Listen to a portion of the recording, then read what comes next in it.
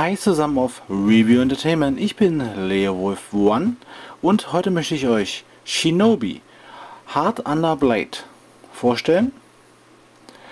Ist ein Meisterwerk, äh, Meisterwerk halt von Toronto After the Dark Film Festival. Also ähm, to vom Toronto After the Dark Film Festival. Es ist halt ein Meisterwerk, ja gut. Kurz erstmal zur ja, Hülle, Verpackung. Man sieht hier drei Gestalten im Mondlicht mit Schwertern. Mal gleich auf. Da haben wir halt einen unserer Hauptcharakter. Leider ist meine CD ein bisschen beschädigt, warum auch immer. Gut. Was gleich hier auffällt, eben ab 16.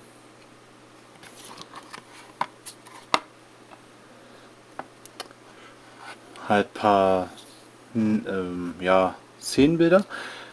Das finde ich ganz toll gemacht. Das sind so einige der Hauptcharakter, also eben, es gibt mehr Hauptcharakter, aber das finde ich eigentlich ganz toll gemacht, dass man dann so sagen kann, ja, die beiden sind so die Hauptcharakter und das finde ich eigentlich ganz interessant gemacht, so diese kleine ähm, Bildgalerie hier drauf. gefällt mir sehr, sowas sehr übersichtlich auch, ähm, eben ja deutsche äh, Sprache, Tonformat und so, halt so mehr oder weniger Standard halt, wieder Deutsch, Japanisch, ähm, DTS 5.1, Dolby Digital 5.1, halt 19 zu 16 zu 9, Entschuldigung, DV, äh, Disk-Typ ist DVD 9 PAL 2. Laufen tut er 98 Minuten. Martial Arts und Screen Menü ist Deutsch. Martial Arts. Genau das einer meiner Lieblings Filmarten. Sowas liebe ich. Okay, das ist ein, ähm, eine Ma ähm, Realverfilmung eines Mangas. Und der äh, Manga wurde von Futa, Futaro Yamada gemacht. Also es, Mangas sind halt die japanischen Comicbücher und das ist halt die Realverfilmung davon. Hier ein bisschen eben Grundgeschichte. Gut, wichtig ist eigentlich nur die Zahl 1614 spielt das Ganze. Und es geht darum, dass Shinobis halt besondere Kämpfer sind mit besonderen Fähigkeiten und eigentlich leben Shinobis nur für den Kampf. Das ist so ein bisschen die Grundstory. Und nun werden sie halt von den normalen Menschen gefürchtet und eigentlich auch ein bisschen geächtet. Sie wurden halt eine Zeit lang für große Kriege halt gerne genommen, aber jetzt sind, sag ich mal, so die menschlichen Gegner ziemlich äh, we wenig geworden. Durch ihre guten Kräfte auf eine Art. Also. Und jetzt haben halt eben die letzten verbliebenen Machtherrscher halt Angst, so nach dem Motto, dass die Shinobi irgendwann mal auf die Idee kommen könnten, sie anzugreifen. So ist so etwa so dieser kleine Grundplot. Ich möchte euch nicht zu viel verraten, weil ihr sollt euch ja den Film schon angucken. Ich nehme aber noch mal gerne diese Galerie hier zum, zur Hilfe und zwar folgendes. Um diese beiden geht's, die Hauptcharakter. Sie gehören zu ähm, feindlichen Familien. Also es gibt unter den Sh äh, Shinobis halt zwei Familien, die miteinander ein bisschen halt verfeindet sind. Und in Dörfern wie Unokure und Inukure oder so, glaube ich, wohnen.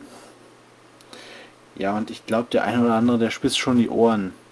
Ja, genau, die Dörfer hören sich so ähnlich an wie die Sachen von Naruto. Auch die Fähigkeiten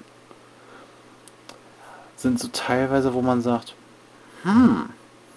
Und das ist das Tolle daran. Also sollte irgendwann mal von Naruto eine Realverfilmung kommen, dann möchte ich bitte dieser Qualität, also so wie das hier schon ist, Also Minimum Standard bitte die Qualität.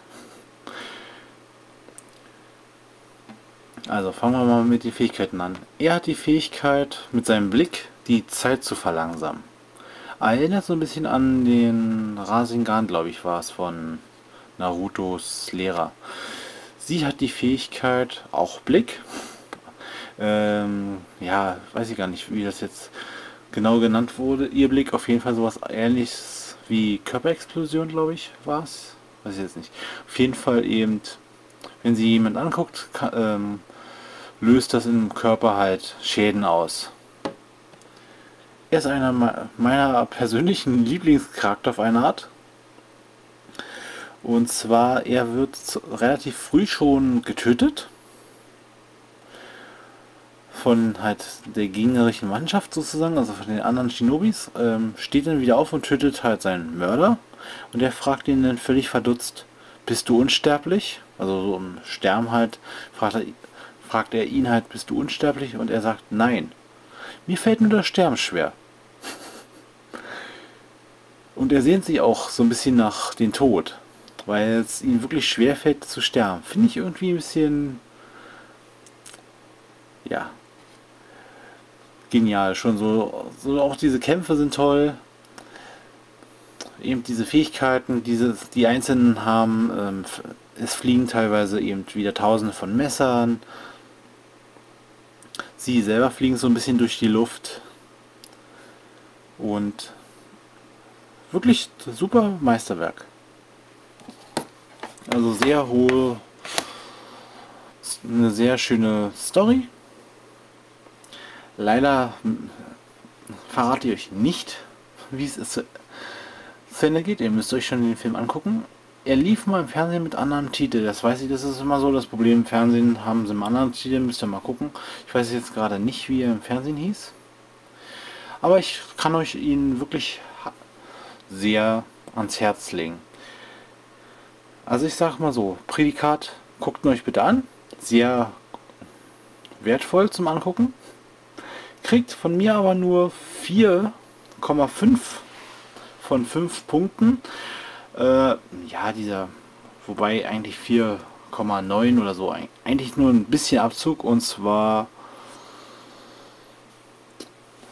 hinkt da so ein klein bisschen ab und zu mal. Ich sage ja, bei mir ist es wirklich schwer, die 5 komplett zu kriegen. Ich weiß, ich bin ein schwerer Mensch in so einer Entscheidung, aber eine 4,5 hat er sich wirklich verdient. Ich empfehle euch wirklich. Guckt euch an, leiten euch aus. Habt viel Spaß mit diesem Film. Ich hoffe, euch hat dieses Video gefallen. Ich sage Tschüss, bis dann.